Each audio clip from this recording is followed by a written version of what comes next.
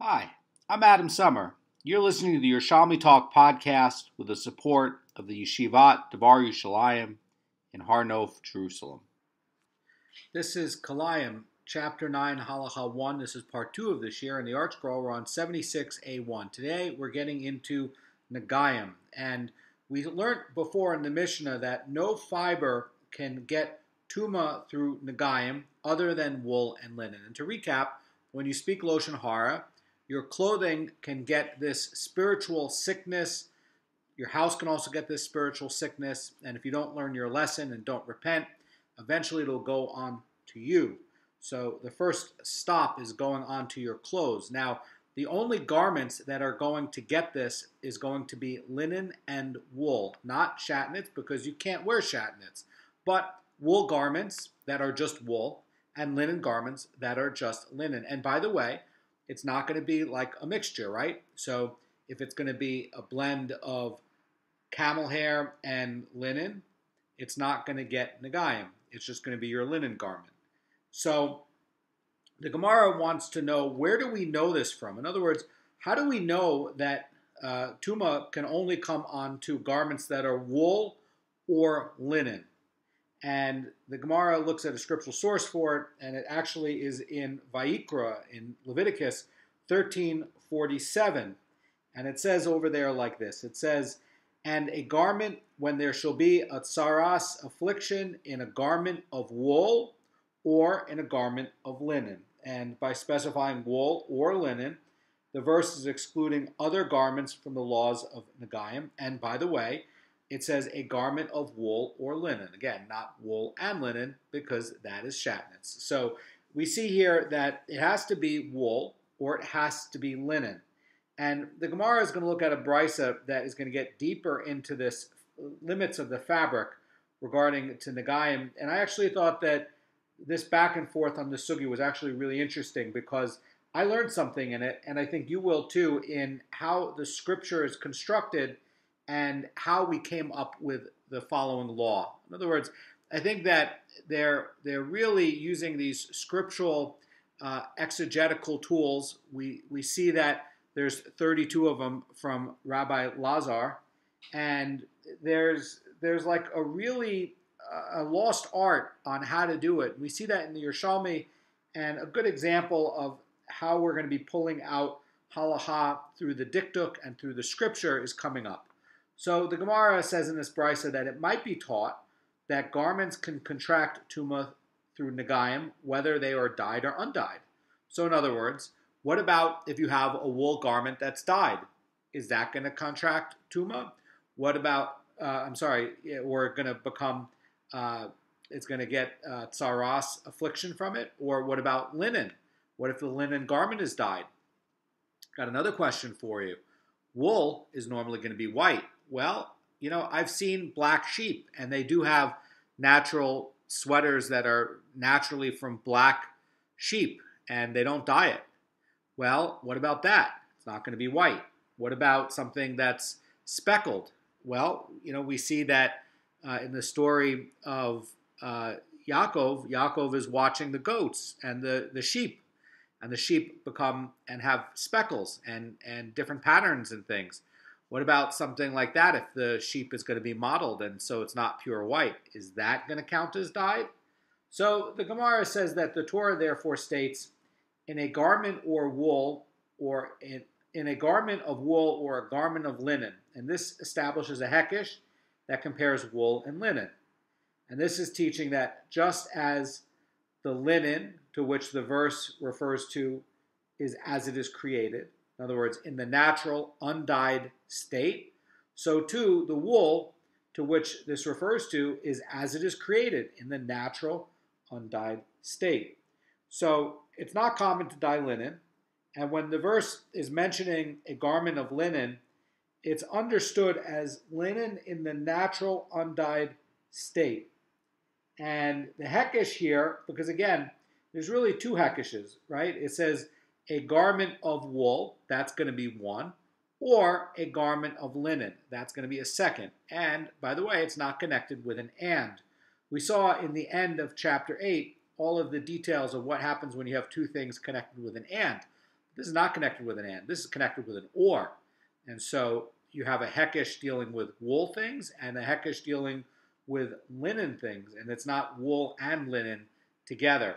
So the Rash Sirilio is going to say about this that he would think that the hekesh would serve to teach that wool must be in the natural state like linen and not that it must be white like linen.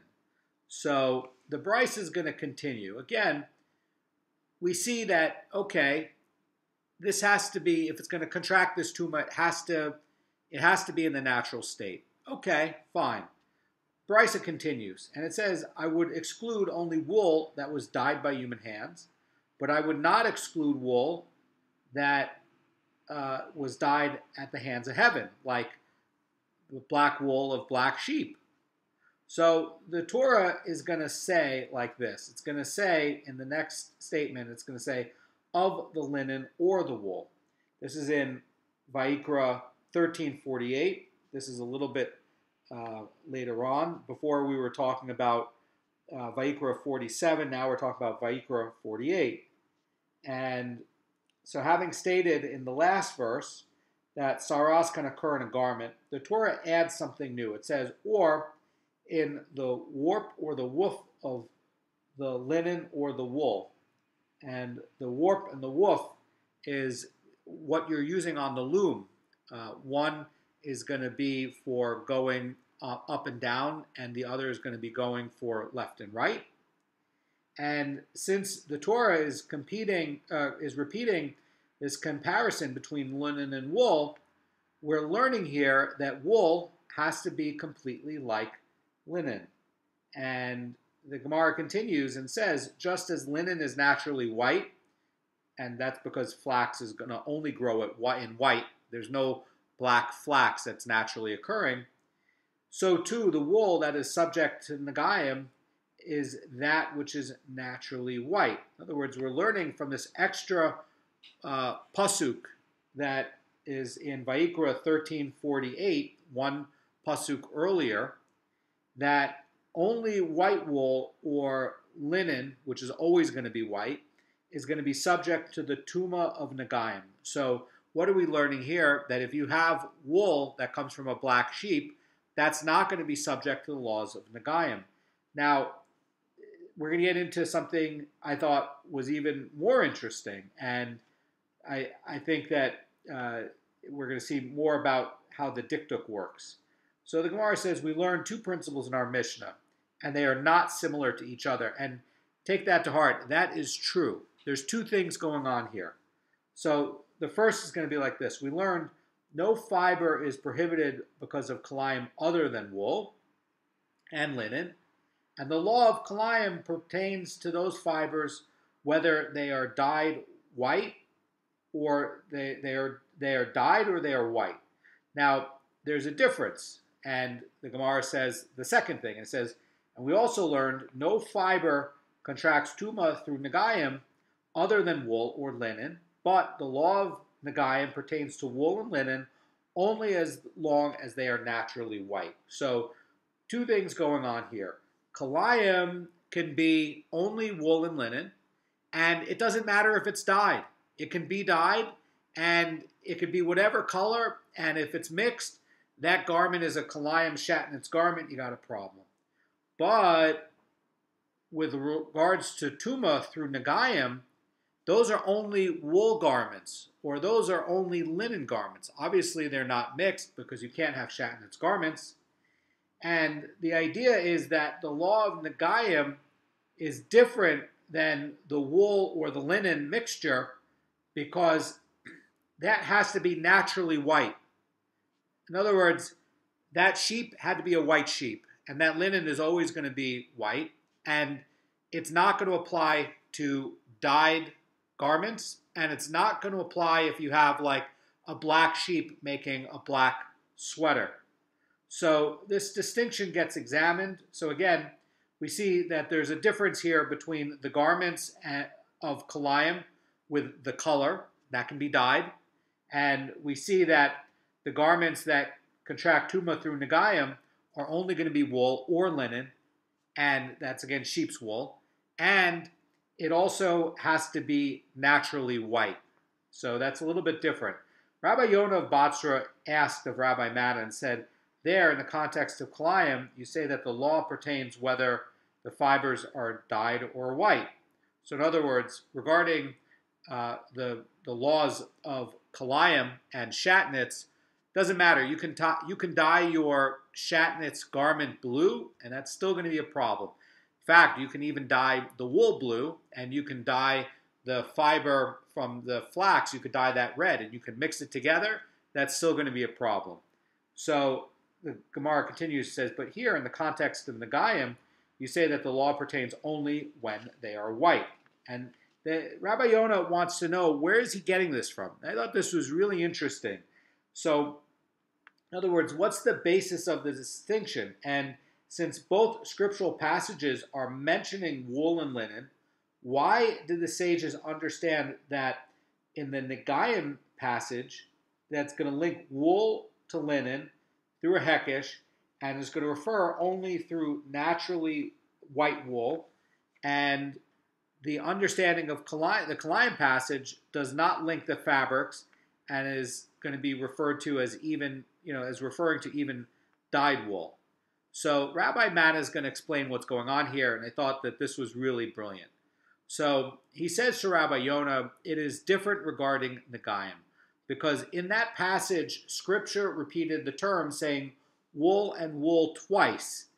And in each case, it linked wool to linen. So in the first, again, this is talking about 1347 in Vaikra.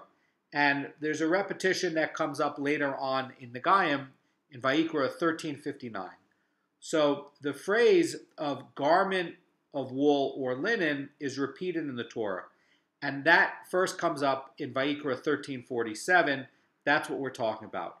But the repetition, when we're talking about Nagayim in Vaikra 15, uh, 1359, is going to conclude the passage about Nagayim garments and read like this that this is the law of the Saras affliction in a garment of wool or linen. You notice that?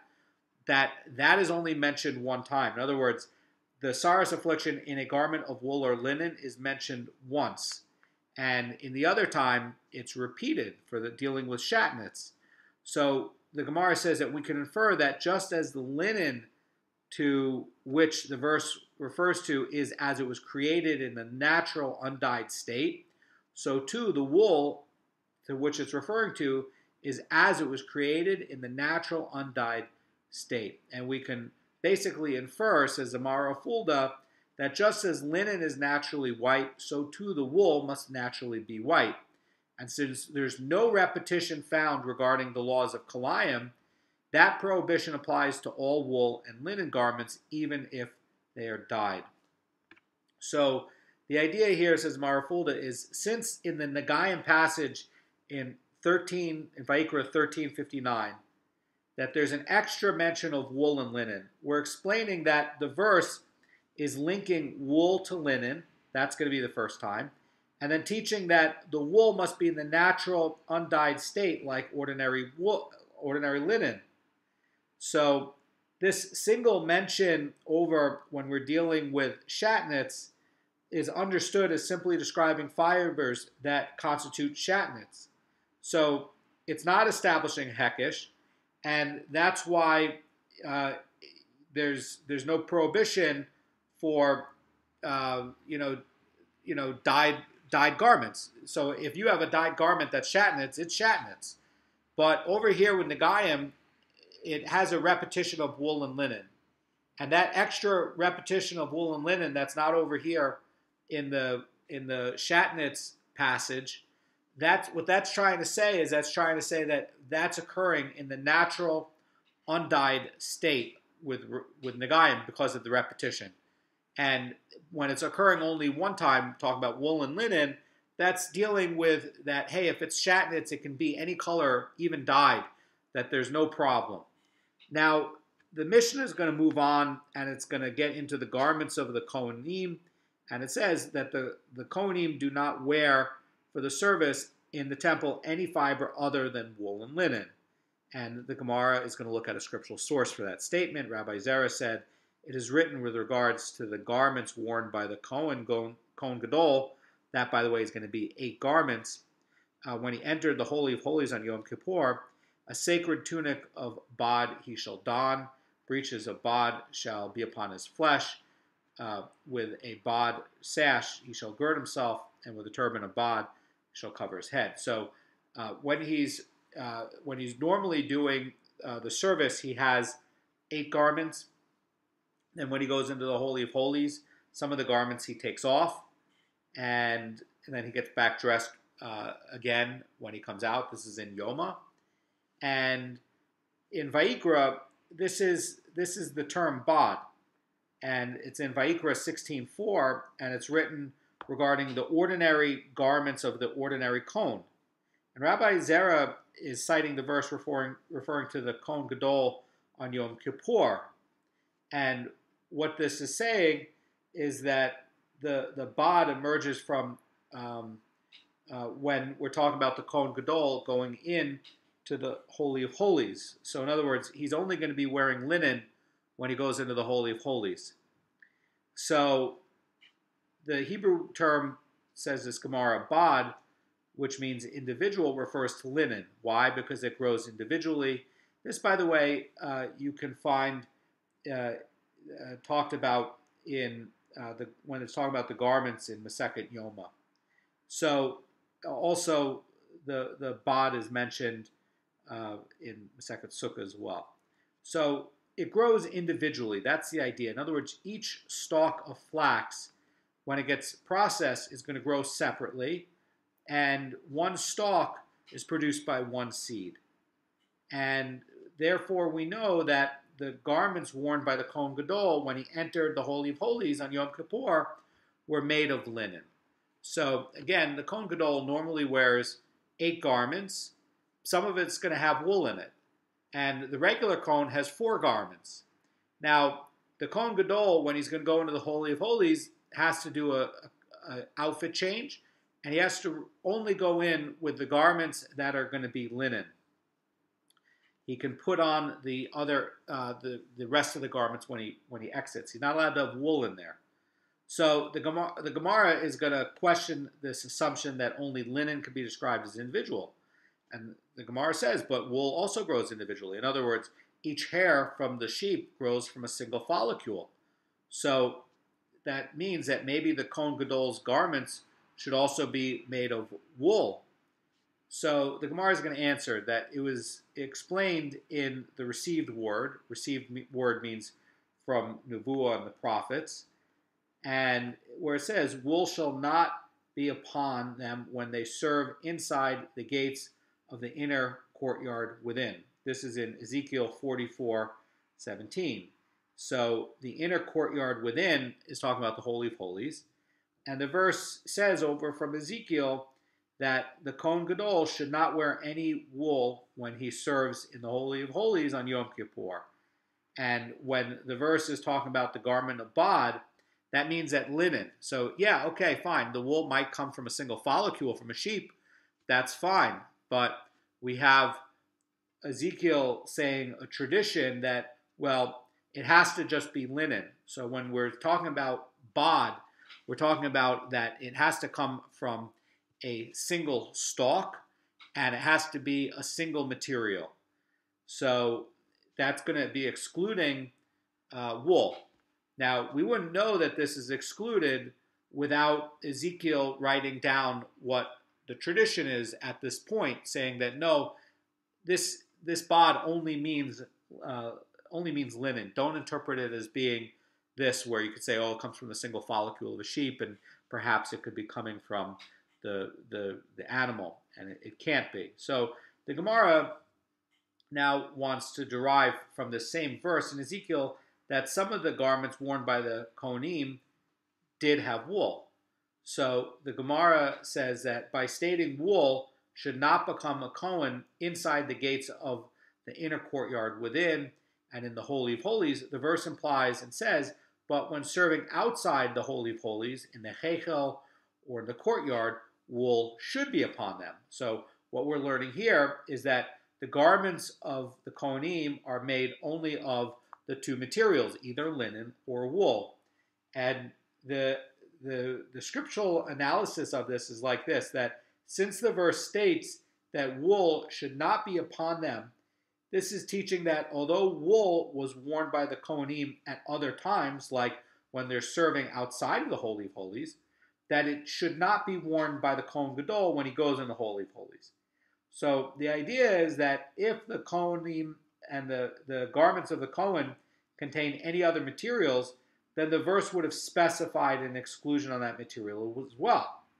And since it's excluding only wool from the Kohen Gadol when he's going into the Holy of Holies, Scripture is teaching that those garments also uh, contained linen or wool. In other words, we're learning here that the ordinary garments contained nothing except for either wool or linen. Very interesting. Now, the Gemara is going to ask more about the the garments of the Kohanim and more of the of the outfit. So, from where do we learn that it's derived that the Kohanim are permitted to wear vestments of Kalayim when performing the temple service? In other words, so far we've demonstrated that the garments for the Kohanim can either be wool or linen. And how do we know that some of these are going to have in the same garment both linen and wool? That, by the way, is Kalayim. So this, by the way, is not just permitted, but it's actually commanded. The Torah says how you're supposed to make each garment. And so some of these garments have the commandment to make it kalayim and to wear kalayim while you're doing the avoda. Now, you're not allowed to wear this garment at any other time, just when you're doing the avoda. Now, from where do we know that uh, that this can be, uh, you know, during the temple service. The Gemara says it is written in Exodus, and the Kohen Gadol's turban of Sheish, and the ordinary Kohen's pare, which is going to be splendid, uh, splendid headdresses of Sheish, and the linen breeches of twisted Sheish. This is in Exodus 39 28. And the next verse says, and the belt of twisted Sheish and Techelis are Gamam and Tolas Shani. Now, it's not exactly clear what Argamam is. We know what color it is, but we're not exactly sure which animal it comes from. And some of the Rishonim are saying it has to come from an animal. And the Rambam is saying that it can come from any living thing as long as it, so even a plant, even as long as uh, it's a living thing and the and it and it produces that color. And the tolas sheni, it's going to be the same argument. Some are saying that um, this is going to be like a, a, red worm, and it's unclear uh, exactly what species this is. Um, and then we have the techelis to get this like this um, this like light blue color. You can get a similar color from indigo, but again, uh, we're seeing that uh, from the Rambam's explanation of this, that Rambam is saying that for the Techelis, that the preferred way is to come from the the chilzon, which is uh, which is going to be this animal, this little like snail-like animal, and then uh, we we have a, a thing of you know that it's coming from the blood of this uh, and a similar dye can come from indigo. But we're learning this comparison of tolas sheni that only the blood of the chilazon is going to be valid, and one might think that that would be the same for the argamam, and that it also has to come from a living creature. But you know, again, the Rambam is indicating that any dye of the proper color can be used for argamam, and the Ravad is implying that any turquoise dye may be used to produce uh, techelis for the, the vestments of the Kohen, uh, but only chilazon can be used for the tzitzis. Very interesting. So the Gemara cited a verse in Ezekiel that states, "Wool shall not come upon them for the Kohanim when they serve in the gates." And this, by the way, is in, again in Ezekiel 44 17. And the same verse continues and says that they shall wear linen clothes. And from the fact that in the garment of the Kohanim's clothing, linen is mentioned together with wool, the Gemara is going to derive a law. It's going to say, just as the wool to which the verse has no accompanying name, in other words, whenever scripture mentions wool, it means ordinary sheep's wool. It doesn't refer to like goat's wool, because it would say goat's wool or ram's wool. So, too, the linen to which it refers to has no accompanying name. And what does that mean? That means that you can't have in the garments for the Kohen, you can't have like hemp fiber, or you can't have silk.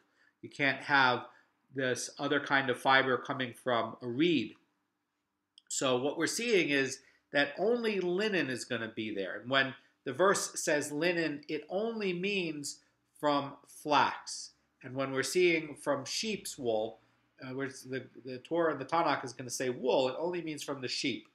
And if it's going to have an accompanying name like ram's wool or goat's wool, then it's going to be from that specific animal instead of the sheep. Same is going to apply for the linen. What we see here is that only wool and linen are used for these garments. You can't have some other material in there.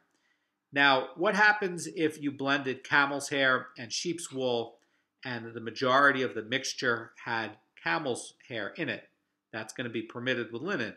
Now, this is going to come for other applications of the ruling, and Rabbi Yonah and Ula Bar Yishmael said in the name of Rabbi Lazar that if somebody blends together raw wool and flax, that mixture is forbidden. So, what should he do to permit the mixture? And the Yerushalmi does this a lot. Uh, Yerushalmi, especially in Zerayim, uh, Seder Zerayim, goes through what happens if you have a mixture. How do you fix the mixture? And the Gemara is going to say like this: assuming that it has at least a liter of wool, he should bring no more than a liter of camel's hair and add it to the mixture and nullify the wool fibers. In other words, you can nullify it. So by blending in the camel's hair into the wool, now what do you have as a garment? You really don't have a wool garment anymore that's mixed with linen. You have a camel hair garment that's mixed with linen, and that's not going to be shatnez. That's the point about mixing it. Now, there's a related discussion, and there's some nuance on what's coming up. Abba Bar Rav Huna says in the name of Rabbi Yirmiyah that if someone blends together raw wool and flax, he nullifies them.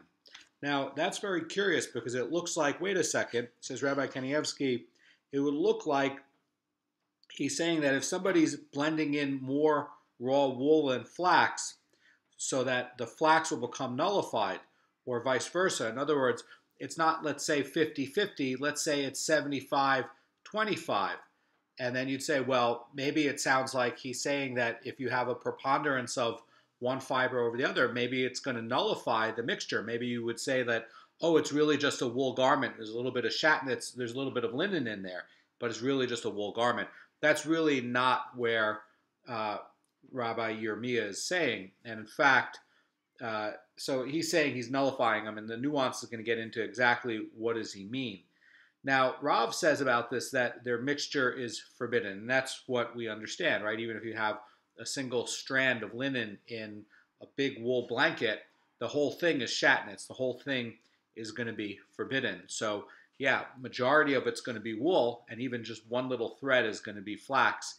As Rav is saying, that's that's uh, that's forbidden. So, what really is Rabbi Yirmiyah's point? Because that seems like a very elementary point. What's he really trying to say? And actually, the Gemara asks and says, "What is Rabbi Yirmiyah uh, saying? Is he actually disputing Rav? And, he's not disputing Rav. So the Gemara is going to answer that Rav and Rabbi Yirmiyah are actually talking about two different things.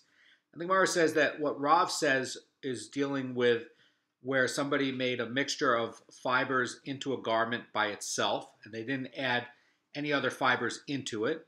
And in that case, there's no nullification, and the garment is forbidden as kalayim. Now, what Rabbi Yirmiyah says in this Gemara is dealing with a case where before making the blend into a garment or into a thread, somebody wants to mix it with other fibers like camel hair. And in that case, other fibers can nullify the wool or the flax and make the mixture permitted. So Sirilio points out that uh, really, you know, he's he's like Rabbi Lazar. What Rabbi Lazar was saying about, oh, if you want to nullify it, just add in more flax. What Rabbi Yirmiyah is saying is, in fact, Rabbi Yirmiyah is going to agree with Rav that wool and flax do not nullify each other. And really, what he's saying is that if you're going to blend wool and flax, he can nullify them by adding another fiber into the mixture. And so this Gemara really does uh, agree with Rabbi Lazar that wool and flax can't nullify one another uh, uh, when they're in the raw form, but the time the other fixed uh, fibers get added, they're going to nullify either the wool or the flax and make the mixture permitted. So, regarding this case uh, where they're processing threads of wool and linen, it could become mixed with each other or another kind of thread. Now, the this does have a lot of uh, things for modern fibers today. What about recycled clothing? What about mixed fiber garments? So that's going to, uh, you know, really highlight the importance because manufacturing today for clothing is a lot different than how it used to be. That's why you really do need to send your suits and your garments over to get checked for shatnez because, uh, you know, there's a lot of uh, recycled fibers. What happens if you have a, a linen fiber that you know is recycled, but the majority of it is linen and minority amount of it say cotton or something like that. Well, if you've sewn that into a wool garment, well, you have shatnez. So we can see that there's a, a value to this today. And the Gemara is going to continue with some amazing, amazing examples about just how how much damage shatnez can do. So Rabbi Hillel, the son of Rabbi Valas, had a fine garment worth 300,000 dinars. And he gave it to Rebbe as a gift. And Rebbe found kilayim in it and he burnt it. Now, this is a massive amount of money. And they're giving to the Nasi just a beautiful, beautiful garment of the highest quality. And, you know, this is talking about, you know, Rebbe finding a small amount of kilayim like the thread of wool in a linen garment, and since he could not wear the garment, he destroyed it. So Rebbe could have removed the offending thread and made the garment permissible, but he was concerned that there might be other such uh, threads hidden in the garment, so he acts stringently. So it's not it, it is permitted to sell kilayim to a non-Jew because shatnez is not forbidden for benefit. And also, if a non Jew wears shatnez, it's fine. But if the kilayim is not clearly reconcil- uh, recognizable, somebody can't sell it. And that's from a Tosefta and also in Bavli Nida 61b. So, and it also is, is uh, corresponding with the Yoreh De'ah saying. Why? Because the concern that after that a Jew is going to go buy it and the non Jew is going to sell it and the, the non the, the Jew's going to buy the garment, not realizing that there's shatnez in it. So Rebbe was concerned that the garment contained hidden shatnez, and he had no recourse on how to fix it except to destroy it. Amazing story. A similar incident. Rabbi Mana had a garment worth 300,000 dinars, so it's also 300,000 dinars, and he gave it to Rabbi Hia Bar Ada, and Rabbi Hia Bar Ada found kilayim in it, and he said to Rabbi Mana, you bought me a garment that's fit for a corpse. And, you know, since it's shatnez, it's only permitted to be used as a shroud for a corpse. And Rabbi Hia Bar Ada was not simply going to remove the offending thread because he's also worried that maybe there's hidden shatnez in it. So what did he do with it?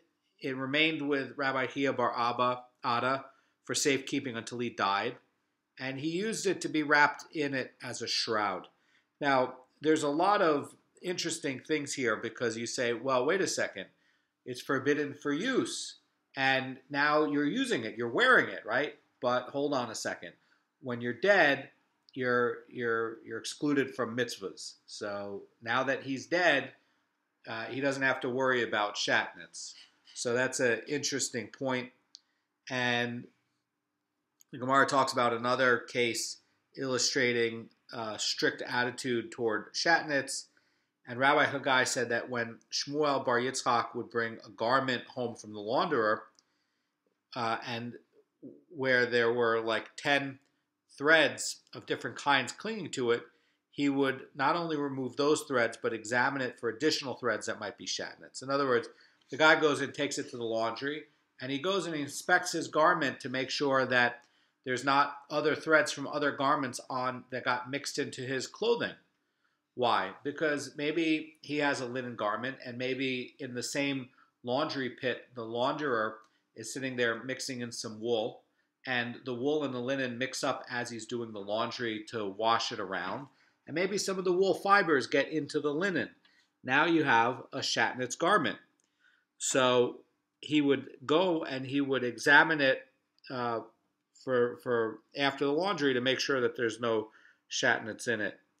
And that's an amazing story. There's another practice by an Amorah. Rabbi Chagai says that Rabbi Shmuel Bar Rav Yitzhak would instruct his household not to place the loom for spinning wool besides the loom for spinning linen because of the worry that the threads might become attached and become woven into a garment and render it shatnez. In other words, Pnei Moshe is saying that uh, there was a worry that the wool and linen strands could become combined into a cord and that it would become attached to a garment. And that's also an amazing thing. In other words, the concern to keep shatnez separated, make sure things don't turn into shatnez, was that serious where he would separate out the looms to make sure that they weren't even close to each other. But again, what these last two stories are showing is the worry about uh, accidental contamination, and the stories before that are with the garments, the expensive garments, is talking about hidden shatnez. The Mishnah talked about uh, shirayim and kalach, and that they're not subject kilayim by biblical law. What is that? Shirayim refers to silk, and kalach refers to the agvin of Caesarea. And this is a type of coarse silk that looks like wool. So the Rambam commentary in the Mishnah is saying that one is going to be fine silk and one is going to be coarse silk. And there's another view on the second substance. Rabban Shimon ben Gamliel says, I inquired among all the seafarers as to what kalach was, and they said it's the common name is kalchach. And this, says the Rash Sirilio, is a soft woolly substance that has a golden color that grows on the rocks of the Dead Sea. And Rashi also uh, has a commentary of what kalach is in uh, Shabbos 20, uh, 20b. So we're going to get more into the worries about uh, silks and kalach in the next year. And we're going to go through some of the nuances that Rav has to understand this. Have a great day.